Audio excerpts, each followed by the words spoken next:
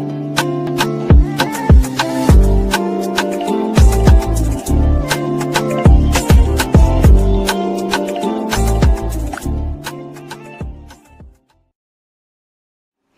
Well hello there and welcome back to my channel or of course welcome to my channel if you're new. If you are new then hello, lovely to meet you. My name is Alix and if you are new here make sure you stick around and subscribe. If you're not new and you've been here for a while then why not make sure the notification bell is switched on just so you're notified of every single time that I upload. Now for today's video, I have such an exciting one because we are going to be reviewing the latest release from XX Revolution. As you can see right here, I have a huge pile of these mini eyeshadow palettes that they released literally, I think it was Thursday or Friday. It came the next day and I'm here to put this up. Is why I interrupted Colourpop Week because I wanted to get this up. ASAP, they have released not one, not two, but eight of these mini eyeshadow palettes. And I wanted to do a video um, like what I've done before. I'm gonna um, show you all the palettes swatch them all and then I'm gonna do an eye look incorporating all of the palettes rather than just doing separate reviews on each palette I'm gonna be reviewing all of them in this one video. So this means this video is to be a little bit longer but because I'm reviewing them all today that is why. But of course if you would like me to do any separate tutorials on any of the particular palettes then you just got to let me know and I'll be sure to do that for you. So if you'd like to see what I think of these new XX Revolution Flexx palettes then please keep watching. Let's get into today's video. So we have eight of these little palettes. They're actually bigger than I thought they were going to be. These are actually only £8 each.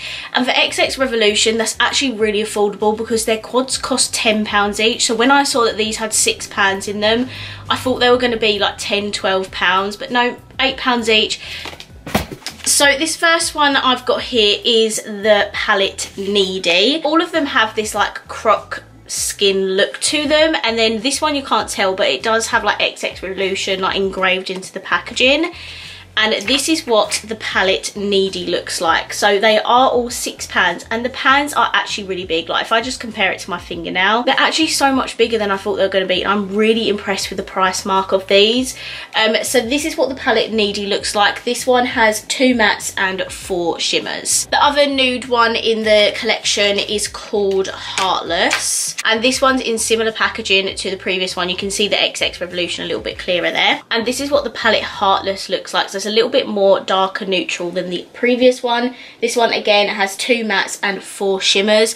I don't like, they're very shimmer heavy. I would rather have like three mattes and three shimmers, but what can you do? The first colourful one I've pulled out here is the shade Britney, which is so iconic. I love that they've called it Britney. And this one has like neon pink packaging and the inside looks like this and this one again two mattes down the side here and four shimmers this one kind of looks like a matte but it does have a little bit of shine running through them how stunning is that I love pink, so that is my favourite one. The next one is called Billie, which is pretty cool as well, very iconic.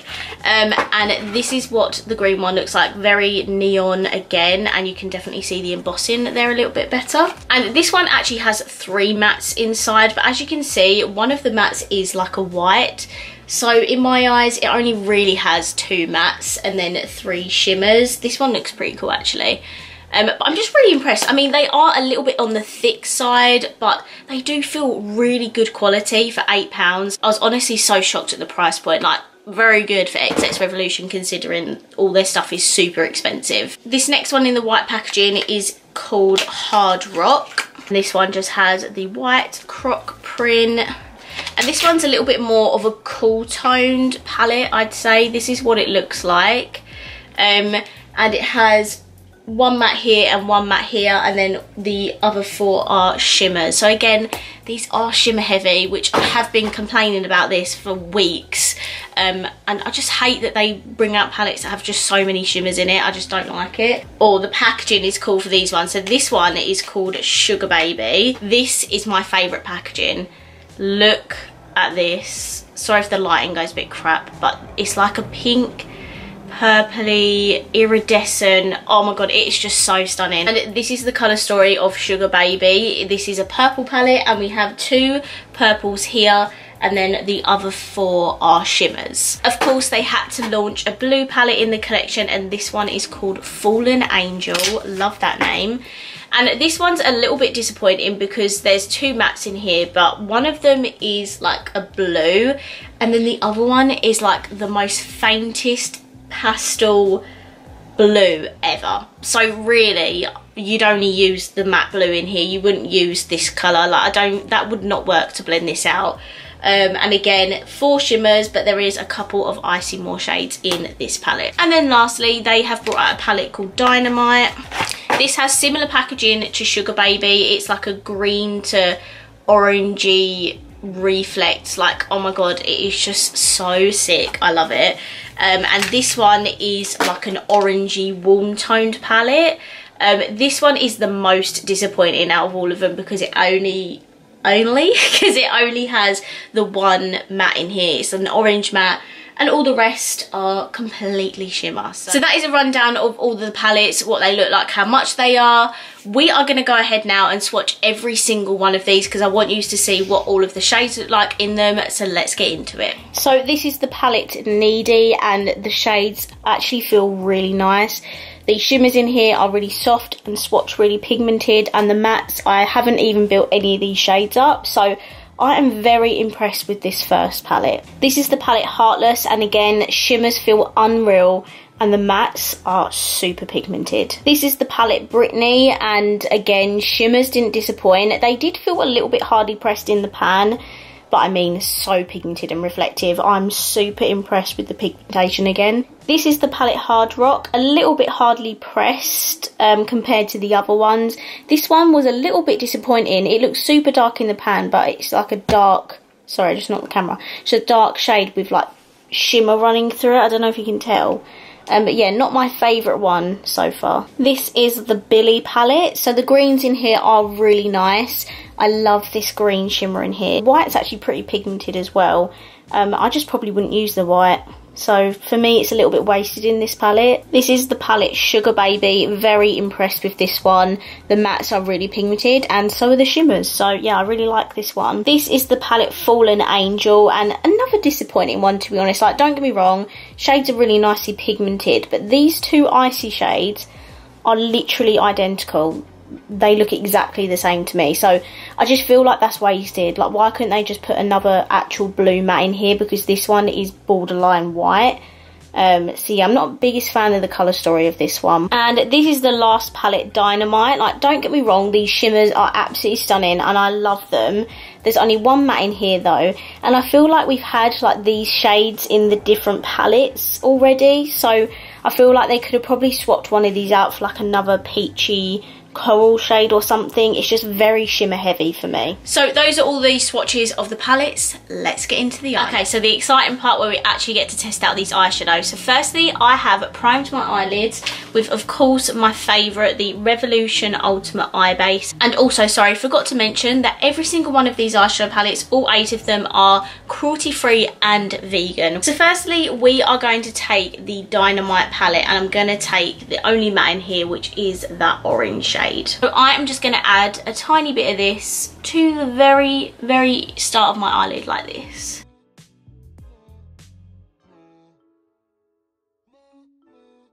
I'm going to do this eye completely different to this eye. So we I just want to make sure I can use as many shades as possible in this look. So I'm going to do one eye, one look, one eye the other. Next, I'm going to take the Britney palette and I'm going to take this lower um, row pink here. There is a little bit of kickback with these, but I mean, seem to be pigmented.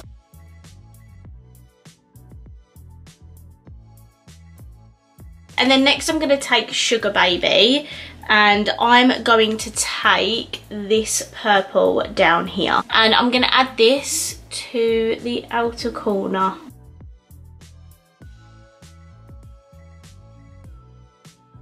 Okay, we're now going to move on to this eye and I'm firstly going to take the Heartless palette and I'm going to lightly take this neutral here. It is quite a orangey toned neutral. I'm just going to take a tiny amount and do the exact same that I did with this orange.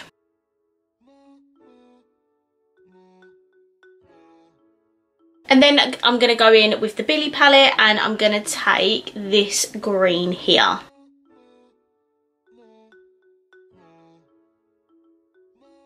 And then lastly for this lid, I'm going to go in with the Fallen Angel palette and I'm going to take this blue here.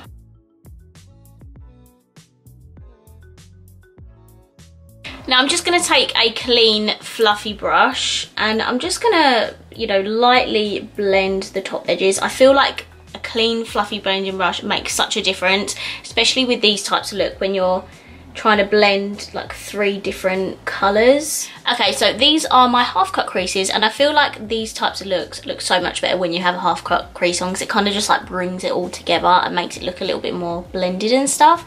So for this eye, I am going to jump into the Heartless palette, this one, one of the neutral ones, and I'm going to grab this beautiful gold shade here.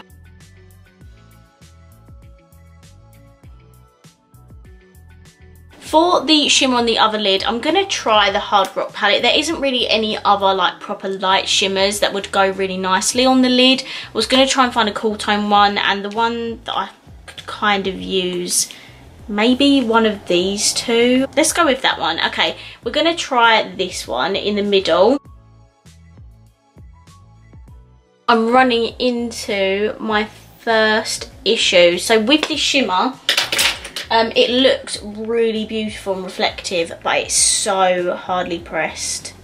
So I've had to scratch some off and then apply, but even still, it's not it's not working the best. Like this shimmer was so smooth and easy.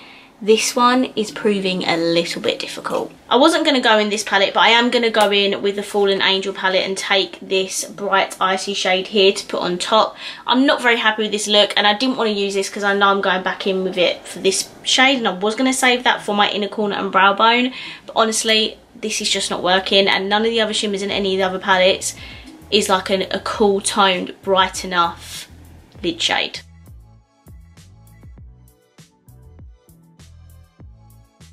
This is the end result, definitely made it a little bit more than what I wanted. So we've got warm tones on one side and cool tones on the other. So to blend out this gold here into the purple, I'm gonna go back in with the Sugar Baby palette and I'm gonna take this purple shimmer here, which is definitely different to like this shimmer. This one has more of that same formula as this shade, whereas this one's more of a normal shimmer.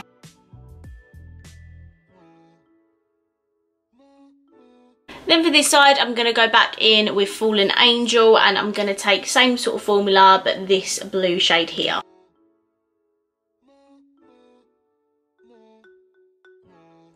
Okay, so I just went off of camera. I finished blending out some of this because some of the colour had got lost. So I re rebuilt that back up. I've also added a winged liner on both eyes. I just feel like it brings the looks together a little bit better. They're definitely not even, so don't come for me. So now we're going to just go to the lower lash line. So on this side, we're going to use the more warm toned palette, which is the Needy palette. And to be honest with you, both these mattes look quite similar, but I'm going to go ahead with this one.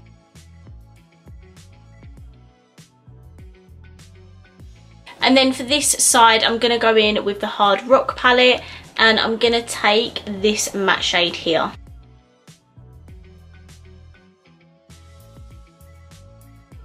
And then for both sides, I'm going to go back in with the Fallen Angel palette and I'm going to take that same um, icy shimmer that I used on this lid.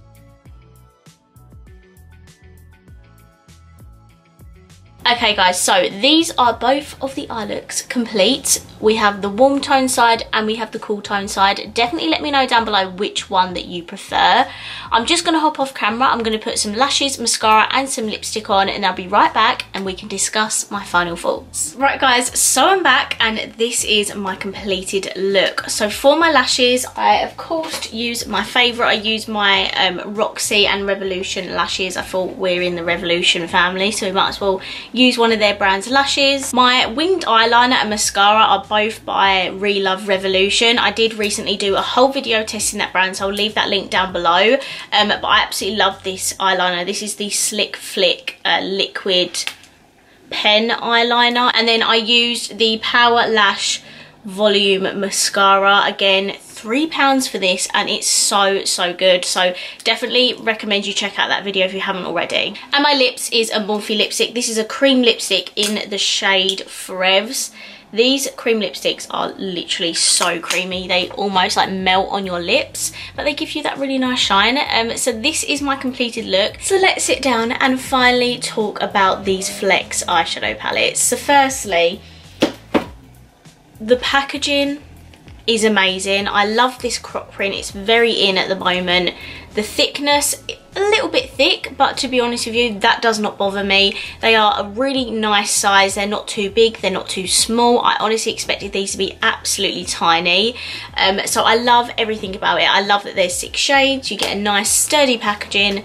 10 out of 10, love that. The price point is amazing. Considering this is XX Revolution, I think £8 is an absolute bargain for how good quality and sturdy these palettes feel. I love that the pans are not tiny like the Makeup Obsession £5 palettes the palettes are literally the size of my fingernail whereas these are much bigger so I'm very happy with the packaging and the price point. What I don't like about these palettes straight off the bat is that the fact that there are so many shimmers in them and I feel like I'm repeating myself because every single Revolution release that comes out recently the palettes seem to have so many more shimmers than mattes and especially with these palettes here because there's only six pans in them if there's like four shimmers you notice it so much more than if it was in a bigger palette because when you look at them you can only use like one or two shades to put shades on your lid and then the rest are shimmers. Don't get me wrong the shimmers are absolutely beautiful and they do swatch amazing. I did struggle with a couple but we'll get to that. The fact that there's only one or two mattes in each palette that you could actually play with on your lids that's what disappoints me about these palettes and i just wish there was at least three mattes three shimmers in each palette so you could play with as much as possible. Now what I will say, the mattes in the palettes are really nicely pigmented. I don't know if it's just because I was using, you know, loads of different mattes, but eventually I did have to go back over and bring back the pigmentation because as I was blending and blending and blending the shade underneath was going away so I did have to top them up but they are really nicely pigmented. The shimmers I have a little bit of a mixed bag of reviews on so this gold one here absolutely stunning went on so effortlessly really pigmented it didn't need to wet it and you have this really stunning metallic finish and I think it looks absolutely beautiful. When I used the first shimmer for this side I was a little bit disappointed because I honestly couldn't get to the pigment of the shimmer. It was so hardly pressed that I had to literally scrape off some of the shimmer to get it to look a little bit pigmented and then even then I wasn't super happy with it so I went in with the more icy shade and that one was much better. So some of the shimmers are a little bit hit and miss for me but overall I think this collection is absolutely beautiful. I think they're so affordable for such a luxe drugstore brand. So based on my experience playing with them today, I am going to recommend them. I just think you need to look at the colour stories and take in what I've said about the shimmer in that palette. What one was it? It was the Hard Rock palette that I use that shimmer and also this low lash line. I think this is probably my least favourite palette out of all of them. So this one is the more cool toned mattes and it just wasn't my favourite. All the rest of them I really like and I honestly would reach for them again. So it's definitely down to personal preference as always depending on what colour stories you liked. I probably would least recommend that Hard Rock palette out of all of them just because it wasn't the best and just didn't perform very well for me today. The rest of them, I love the mattes in them, just wish there were more of them in the palettes. So that is it for this video. I really hope you enjoyed it and if you did, please let me know by smashing the thumbs up button. Let me know down below, what do you think of this collection? I need to know your thoughts and opinions because obviously these are a little bit different for XX Revolution. They haven't really come out with these sort of palettes before. They're very affordable, but you know, shimmer formula was a bit hit and miss for me. So I'd love to know what you think down below. And of course, if you haven't already, please subscribe down below and I will see you in my next video. Bye.